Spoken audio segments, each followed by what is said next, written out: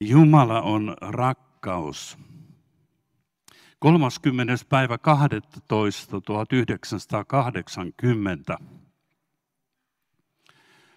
tuolla Afganistanissa suomalaisen, suomalais-norjalaisen lähetystyöntekijä perheeseen yöllä, keskellä yötä ää, murtautui joukko miehiä. Ja he huumasivat kaksi pienet lapset, kolmevuotiaan ja viisivuotiaan, ja, ja sitten sitoivat nämä lähetystyöntekijät. Ja heidät myös puukottivat kuoliaaksi raasti. Aamulla lapset heräsivät ja, ja tämä kolmevuotias tytär Ulla ja hänen veljensä menivät isä ja äitiä katsomaan ja löysivät heidät, heidät sieltä kuolleena. Ja nyt 43 vuotta tämän tapahtuman jälkeen, niin tämä Ulla Barentsen Riikonen haastattelussa sanoo tällä tavalla. Minua on vienyt elämässäni eteenpäin tieto siitä, että Jumalan tahto ihmistä kohtaan on aina hyvä. Ja totuus on se, että minulla on ollut onnellinen elämä Jumalan yhteydessä. Mä ajattelin, että näin voi todellakin sanoa vain sellainen ihminen, joka on jotain todella todellista kokenut Jumalan rakkaudesta. Kun me puhutaan puhutaan Jumalan rakkaudesta, niin mä luulen, että jokainen meistä on, on kuullut puheen Jumalan rakkaudesta. Ja, ja kysymys onkin jostain semmoisesta, että puhutaan Jumalasta ja hänen rakkaudestaan, niin se on kuin, se on kuin otta, ottaisimme lasilla vähän jostain suuresta valtamerestä – ja sitä voisimme vähän jakaa. Mutta emme millään saa sitä koko valtamerta siihen, siihen, siihen yhteen lasilliseen. Ja niin ei varmasti tapahdu nytkään siitä, mitä, mitä teille jotakin tässä jaan. Mutta se, että me uskomme siihen, että Jumala on rakkaus, se tarkoittaa sitä, että sehän on meidän niin kuin, voisi sanoa, fundamenttimme – se on meidän elämämme perusta, jolla me seisotaan ja, ja johon me myös turvaudumme. Eli se kertoo siitä, millais, millaiseen Jumalaan minä uskon. Millaiseen Jumalaan me uskomme. Jumalan, joka on todellinen, Jumala, joka on ainoa oikea Jumala. Ja millainen hän on. Ja mitä siitä seuraa. Satanisti uskoo hyvin erilaiseen Jumalaan. Siinäkin on omat seurauksensa. Tai materialisti uskoo, uskoo omanlaisensa Jumalaan. Siitäkin on omat, omat seurauksensa. Jumala on rakkaus. Se tarkoittaa sitä, että, että, että, että kaikki Jumalan toiminta lähtee rakkaudesta.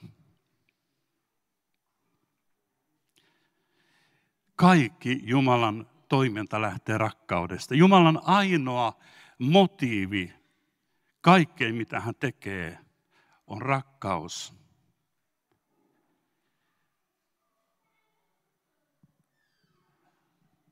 Kaiken takana on rakkaus, hyvä, armollinen, kaikkivaltias Jumala.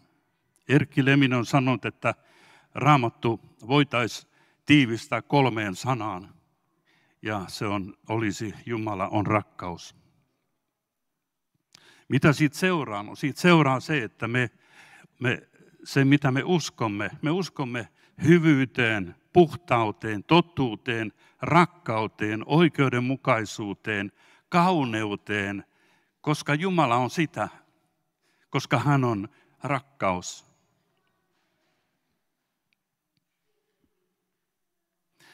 Mulla on raamattu Ja mä katsoin, että tässä mun raamatussani on tuhat, noin 1740 ää, sivua. Tämän raamatun, paksun raamatun kaksi ja puoli sivua kertoo luomisesta, kertoo tilanteesta, jossa, jos kerrotaan se, miksi Jumala loi ihmisen ja millaista se oli, kun Jumala loi maailman ja loi ihmisen. Ja siitä Jumala sanoo näin, että Jumala katsoi kaikkea, mitä, mitä oli tehnyt ja näki, että se oli erittäin hyvä. Se oli erittäin hyvä. Jumala nautti siitä, mitä hän oli luonut. No sitten tässä mun raamatussa kaksi ja puoli sivua, viimeiset sivut, kertoo oikeastaan jostain, tai kertoo sellaista, mikä ei vielä ole toteutunut, mutta mikä tulee toteutumaan ja joka on hyvin samanlaista kuin ne ensimmäiset sivut. Ja sitten kaikki ne tuhat, yli 1400 sivua, jotka on siinä välissä, ne kertoo ihmisen tuottamista ongelmista, ihmisen sotkuista, pahuudesta, julmuudesta, kavaluudesta ja kapinasta Jumalaa vastaan. Ja kuitenkin kaiken tämän Jumalan tai ihmisen kapinan ja ihmisen sotkun keskellä kulkee punaisena lankana Jumalan toiminta kutsuvana rakkautena – hänen pelastussuunnitelmansa ja se, miten hän korjaa sen, mitä ihminen on tehnyt.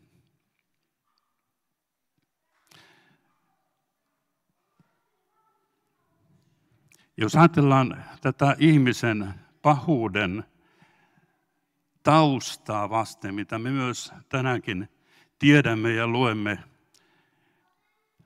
lehdistä ja muualta, niin sitä taustaa vasten – loistaa Jumalan rakkauden kirkas valo. Mennään pieneksi hetkeksi tuonne paratiisin siihen aikaan, jossa, jossa, josta kerroin, josta ne, ne ensimmäiset sivut, muutama sivu kertoo, josta sanotaan, että kaikki oli erittäin hyvin.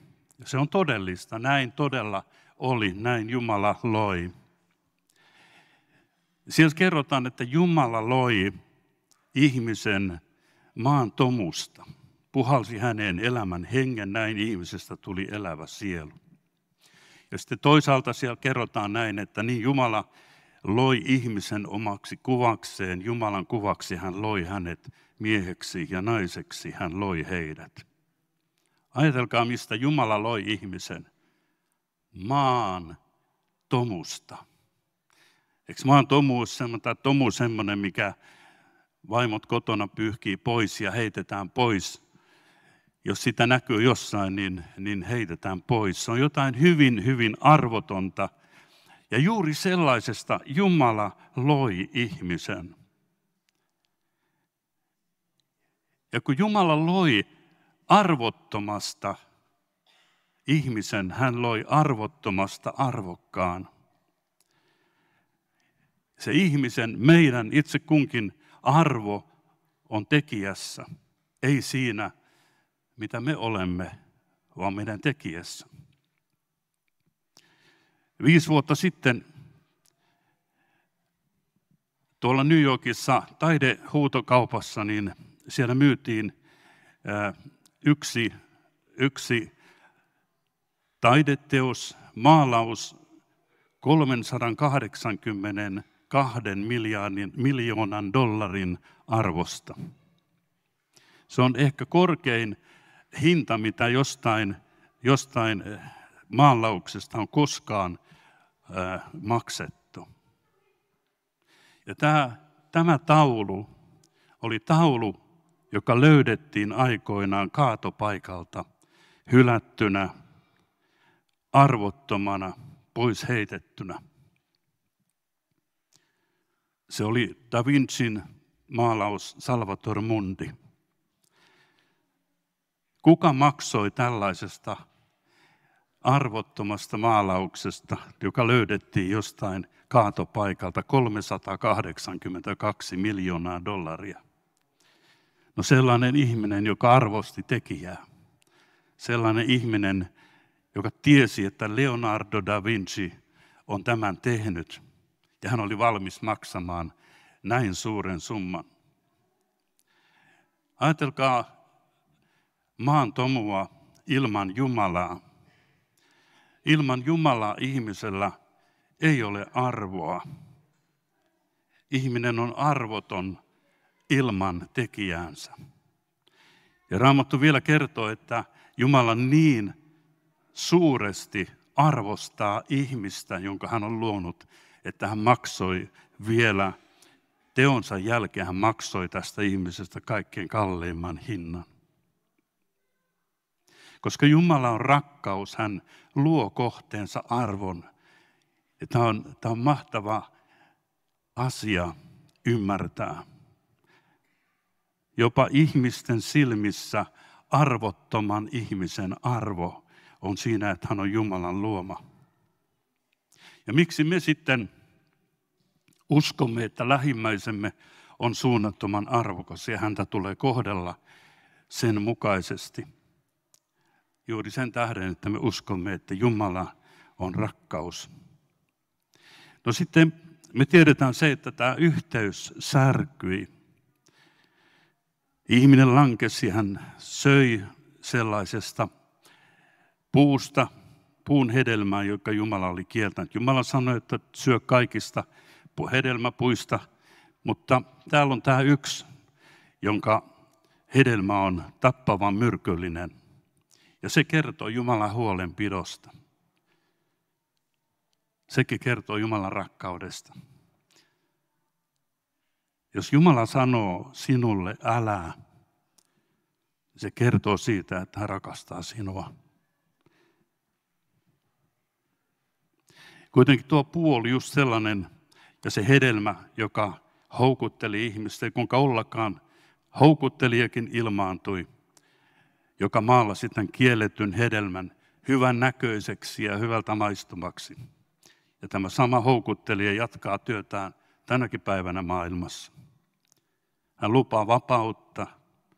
Hän sanoo, toteuta halujasi, ole itsesi Herra, ja Jumala rajaa sinun onneasi. Näin se sanoo.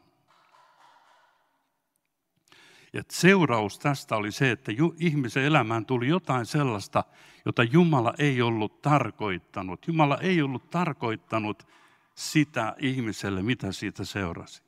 Ihmiselle seurasi se, että hän pakeni Jumalaa, hän koki häpeää, hän piiloutui. Hänen sisimpäänsä tuli Jumalan vihan pelko, hän koki syyllisyyttä, hän alkoi syyttää toista ihmistä syylliseksi ja hän pakeni Jumalaa. Jumalan, Jumalan kuva särkyi ja tätä me sitten geeniperimänämme me tätä joudumme itse kukin elämään todeksi. No, Jumalan, Jumalan ää, rakkaus näkyy tämänkin jälkeen siellä paratiisissa. Nimittäin kerrotaan, että, että he kuulivat Herran äänen, Jumalan äänen käyskennellessä puutarhassa illan viljetessä. Silloin mies ja hänen vaimonsa menivät Herraa Jumalaa piiloon puutarhan puiden sekaan. Mutta Herra Jumala kutsui miestä ja sanoi, hänelle, missä olet?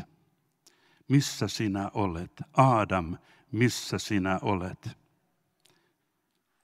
Jumala tiesi kyllä, missä Adam on, mutta hän kysyi, missä sinä olet, jotta Adamille paljastuisi se, mitä hän, missä hän todella on, paossa Jumala. Tämä Jumalan kutsu koko raamatun läpi rakkauden kutsu on, on olemassa. Je- Jeesus huusi juhlan viimeisenä päivänä, suurena päivänä, kerrotaan juhlan viimeisenä suurena päivänä Jeesus nousi seisomaan ja huusi, jos jonkun on jano, tulkoon minun luokseni ja juokoon. Joka uskoo minuun, niin kuin raamatussa sanotaan, hänen sisimmästään juoksevat elävän veden virrat. Meidät on kutsu, kutsuttu rakkauteen. Paavali kirjoittaa Efesolaiskirjeessä, rukoilen, että hänen henkensä kautta, hän henkensä kautta suuren kirkkautensa mukaisesti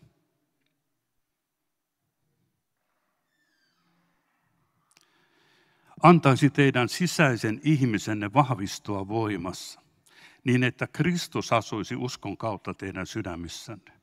Rukoilen, että te rakkauteen juurtuneena ja perustuneena voisitte yhdessä kaikkien pyhien kanssa käsittää, mikä leveys, pituus, korkeus, syvyys on, ja oppia tuntemaan Jumalan, oppia tuntemaan Kristuksen rakkauden, joka on kaikkea tietoa ylempänä. Tämä on Jumalan tarkoitus meille. Hän kutsuu tähän rakkauteen. Ja Jeesuksen kasvoissa me näemme Jumalan kasvot. Jeesus sanoi, joka on nähnyt minut, hän on nähnyt isän. On mielenkiintoista, oletko pannut merkille, kun lukoilet Herran siunausta, niin se sanotaan, että, että me rukoillaan, että valaise kasvosi meille. Käännä kasvosi meidän puoleemme. Samalla tavalla kuin sylilapsi näkee äidin kasvoista kiintymyksen ja rakkauden, samalla tavalla Kristuksen kasvoista me näemme Jumalan rakkauden. Haluaisin kolme asiaa tässä jakaa lyhyesti siitä, mitkä, mitkä mulle niin kuin merkitsee siitä, että miten mä voin oppia tuntemaan Jumalan rakkautta. Nimittäin, nimittäin se kysymys, mikä täällä esitettiin, että, että tota, tunnetko Jumalan, tai otko, koetko, että Jumala rakastaa sua, niin, niin tota, se on meidän kysymyksemme. Itse asiassa uskon näin, että ihan sieltä lähtien sieltä, sieltä luomisesta tai lankemuksesta lähtien. Ei ole helppo uskoa, että Jumala rakastaa juuri minua. Mutta lyhyesti, Jumala osoittaa rakkautensa. Raamat sanoo, että Jumala osoittaa rakkautensa. Jumala osoittaa rakkautensa meitä kohtaan siinä, että Kristus kuoli meidän puolestamme, kun me vielä olimme syntisiä. Risti on se, joka kertoo, että sinä olet armahdettu. Risti kertoo siitä Jumalan rakkaudesta, että hän rakastaa sinua. Jos epäilet sitä, että Jumala rakastaa sinua, niin nosta katseesi Jeesuksen ristiin. Nosta katseesi hänen runneltuun muotoonsa ja näe, että siellä Jumala ostaa sinut vapaaksi, ostaa sinut omaksesi, sovittaa sinun syntisi. Sen suurempaa rakkautta ei kenelläkään ole kuin että antaa henkensä ystäviensä edestä. Toinen asia vielä, mikä mä haluan sanoa tässä, mikä itselleni merkitsee, on se, että Jumala sanoo rakastavansa. Siis Jumala osoittaa rakkautensa ja hän osoittaa sen Jeesuksessa. Mutta hän myös sanoo rakastavansa. Mulle itselleni hyvin merkittäviä kohtia on esimerkiksi Jesaja 43, 1-4, mutta nyt näin sanoo Herra, joka loi sinut, Jaakob, joka muovasi sinut, Israel. Älä pelkää, sillä minä olen sinun lunastajasi. Minä olen sinut nimeltä kutsunut, sinä olet minun. Jos kuljet vetten halki, minä olen sinun kanssasi. Jos virtojen poikki, ne eivät tempaa sinua mukaansa. Jos kuljet tulen läpi, et kärvenny eikä liekki polta sinua. Sillä minä Herra, sinun Jumalasi, Israelin pyhä, sinun pelastajasi. Koska sinä olet minun silmissäni kallis ja arvokas, ja koska minä rakastan sinua, minä annan ihmisiä sinun sijastasi, kansakuntia sinun hengesi, henkesi lunnaiksi. Älä pelkää, sillä minä olen sinun kanssasi. Tai Jeremia 31.3. Kaukaa ilmestyi minulle Herra. Iankaikkisella rakkaudella minä olen sinua rakastanut. Sen tähden minä olen vetänyt sinua puoleeni armosta. Minä rakennan sinut jälleen ja sinä tulet rakennetuksi. Näitä kohtia, muistan ajan, jolloin mun ihan oli pakko lukea näitä raamatun kohtia voidakseni vakuuttua siitä, mitä Jumala sanoo minulle suoraan, minulle, Jumalan sanasta. Hän rakastaa iankaikkisella rakkaudella. Ja vielä kolmas asia on se, että rakkautta opitaan ja koetaan suhteessa, eikö vaan? Suhteessa. Sen takia Raamattu kehottaa meitä, opi tuntemaan Herra, opi tuntemaan Isän sydän, seurustele Jumalan kanssa, käytä aikaa hänen kanssasi. Lue raamattua Jumalan, sitä, mitä Jumala ajattelee, millainen Jumala on. Ja raamattu lupaa nimittäin näin, että sillä on seurauksensa. Armo ja rauha lisääntyköön teille Jumalan ja meidän Herramme Jeesuksen Kristuksen tuntemisen kautta. Mä luen ihan tässä lopuksi vielä niin Juha Vähäsarjan raamat, hartauskirjasta näin. Missä on armahdettuja syntisiä, siellä on armahtava asenne. Missä on paljon anteeksi saaneita syntisiä, siellä on paljon ymmärrystä heikoille. Missä Jumala on rakkaus, siellä rakkaus muuttuu teoiksi.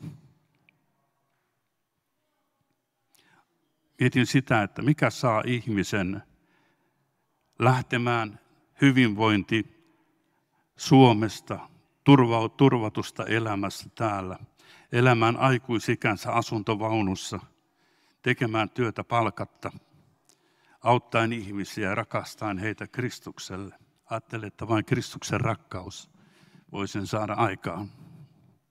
On siskoni Maija, joka nyt on jo Jeesuksen luona. Hän teki 30 vuotta, oli Keniassa lähetystyössä, perusti siellä orpokodin. Ja Mari, Mar, Maija siskoni sanoi usein, että, että olen saanut Jumalalta niin paljon, että olen velkaa niille, joilla ei ole mitään. Ja hän uhrasi, antoi elämänsä näiden orpojen hyväksi. Kun Jumalan rakkaus saa tulla todeksi, niin se ihan oikeasti alkaa vaikuttaa meissä.